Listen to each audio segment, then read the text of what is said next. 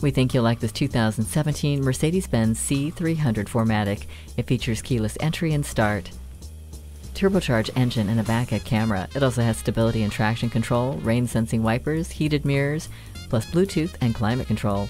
Come in today for a closer look.